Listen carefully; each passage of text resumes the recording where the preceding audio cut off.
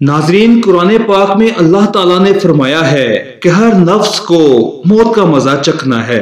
यानी कायनात के हर जानदार के लिए अल्लाह ताला ने मौत का वक़्त और जगह मुतयन कर रखी है।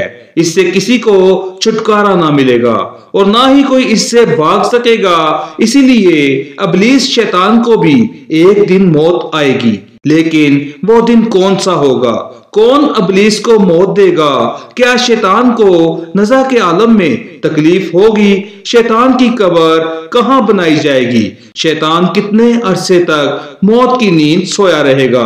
तो नाजरीन कराम आज हम इन्हीं अहम सवाल के जवाब करानो हदीस की रोशनी में देंगे। मोजज नाजरीन, जब शैतान मरदूत को अल्लाह ताला ने जन्नत से निकाल दिया तो उसने अल्लाह ताला से क्यामत तक की मोहलत मांगी कि क्यामत से पहले मुझे मौत ना आए। लेकिन अल्लाह ताला ने उसे वक्त मकर्रा तक, यानी एक खास वक्त तक मोहलत दी, जिसे कुरान पाक की सूरत हजर में बयान यूँ किया गया है, उसने कहा, ए परवरदिगार, लोगों के ज़िंदा किए जाने तक मुझे मोहलत दे। फरमाया, तुझे मोहलत दी जाती है वक्त मालूम तक के लिए। तो नाजरीन कराम वक़्त मालूम को मुफसरीन ने नुफ़ ओला लिखा है। यानी जब हज़रत इसराफील सलाम पहली दफ़ा सूर फूकेंगे, क्यामत की निशानियाँ जब पूरी हो जाएँगी तो मोमिन की बगलों के नीचे से एक प्यारी खुशबूदार हवा गुजरेगी। जिससे तमाम ईमान वाले वफात पा जाएँगे। और फिर इसके बाद चालीस साल का जमाना गुजरेगा कि जिसमें कोई बच्चा पैदा ना होगा। यानी हर इंसान की कम से कम उम्र चालीस साल होगी।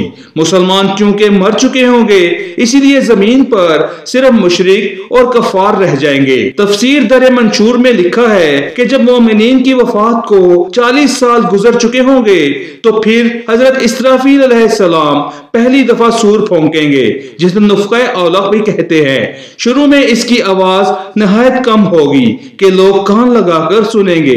फिर ये बढ़ती बढ़ती इस कदर ज़्यादा हो जाएगी कि कानों के पर्दे फट जाएँगे, उनके नथनों से पीप बहना शुरू होगी और लोग मर जाएँगे। इंसान, जिन और फरिश्ते, यहाँ तक के शैतान अबलीस को भी इस नफका ओला के वक़्त मौत आ जाएगी। इसके 40 साल बाद हज़रत इसराफील सलाम दूसरा शोर फूकेंगे तो तमाम मुर्दे दोबारा ज़िंदा हो जाएँगे और क्यामत कायम होगी और मेजान लगेगा। यानी नफका उला के वक़्त अबलीस को मौत आएगी और नफका ओला और नफका सानिया के मुबैन चालीस साल का अरसा होगा और ये कि अबलीस चालीस साल तक मुर्दा रहेगा। तो आइए अब इस बात पर रोशनी डालते हैं कि अबलीस को मौत कैसे आएगी और वो ये चालीस साल मुर्दा हालत में कहाँ गुजारेगा। इस सिलसिले में हज़रत काब बिन अहबार रज़ी अल्लाह की एक मशहूर रवायत पेश करते हैं। हज़रत काब बिन अहबार रज़ी अल्लाह फरमाते हैं कि जब अबू अल बशर हज़रत आदम सलाम की वफात का वक़्त आया तो वह परेशान हो गए और अल्लाह ताला से अर्ज़ गुजार हुए, ए अल्लाह, मेरी मौत से मेरा अजली दुश्मन बहुत खुश होगा, क्योंकि मैं मरने वाला हूँ और वो क्यामत तक ज़िंदा रहेगा।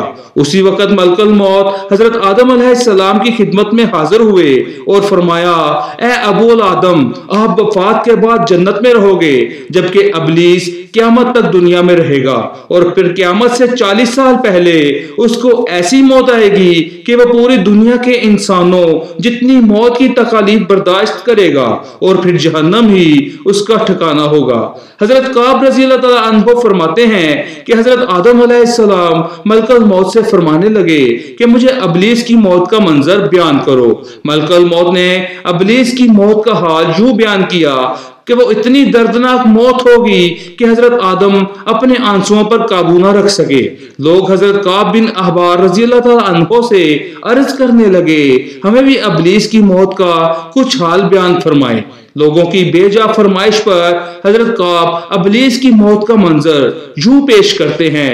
अल्लाह ताला मलकल मौत से फरमाएँगे, मेरे गजब और गुस्से का लिबास पहनकर जाओ, अबलीस की रूह को कब्ज करो और अबलीस से तमाम इंसानों और जिन्नों से ज़्यादा सख्ती करना। जब मलकल मौत गजब और गुस्से से भरकर बहुत से फरिश्तों के साथ अबलीस की रूह को कब्ज करने आएँगे तो जो भी आसमान और ज़मीन में से उनको देख लेगा वो फ़ौरन ही मर जाएगा। जब मलकल मौत अबलीस के पास पहुँचेंगे, वो तो दाड़े मार मार कर रोएगा। फिर शैतान को मौत की तकलीफ़ दी जाएगी, जो कि सारी मखलूक की मौत की तकलीफ़ से भी ज़्यादा होगी। अबलीस घबरा कर मशरक की जानब भागेगा तो कभी मगरब की जानब, लेकिन हर तरफ़ अपने सामने मलकल मौत को पाएगा। समुंदर में छुपने जाएगा तो समुन्दर उसे जगा ना देगा। आसमान की तरफ़ भागेगा तो वहाँ मुकर फरिश्ते उसको आग के कोड़े मारेंगे। हज़रत आदम सलाम की कब्र के पास खड़ा होकर कहेगा, ए आदम, तुम्हारी वजह से मैं मालूम और मरदूद बना। काश कि तुम पैदा ही ना होते। फिर मलकल मौत कहेगा, कितनी सख्ती और तकलीफ़ के साथ मेरी जान निकालोगे। फरमाएँगे, जितने लोग जहन्नम में हैं, इन सब की मौत से कहीं ज़्यादा तकलीफ़ और सख्ती के साथ। ये सुनकर तड़पने लगेगा और चीखता चलाता इधर उधर भागेगा और उसी जगह पहुँच जाएगा जहाँ उसने जन्नत से निकलने के बाद पहला कदम रखा था।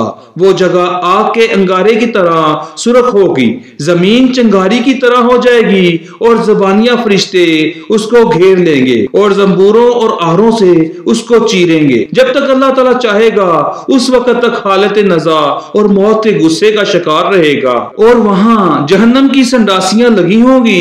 इन संडासियों से तड़पा तड़पा कर उसकी जान निकाल ली जाएगी। हज़रत आदम सलाम और हज़रत अमा से कहा जाएगा कि जरा अपने दुश्मन को देखो, किस तरह जिल्लत के साथ मर रहा है। और वो देखकर कहेंगे कि, या अल्लाह, तूने हम पर अपनी नेमत मुकम्मल फरमा दी। इन्हीं जहनमी गढ़ों में अबलीस चालीस साल तक मुर्दा रहेगा और यही उसकी कब्र होगी। फिर चालीस साल बाद दोबारा हज़रत इसराफील सूर फूकेंगे तो तमाम मुर्दे ज़िंदा हो जाएँगे और हसाबो कताब का अमल अमल शुरू होगा। नाजरीन कराम इस कायनात की हर चीज़ फना होने वाली है। अगर किसी को दवाम है तो वह सिर्फ़ अल्लाह ताला की जात है।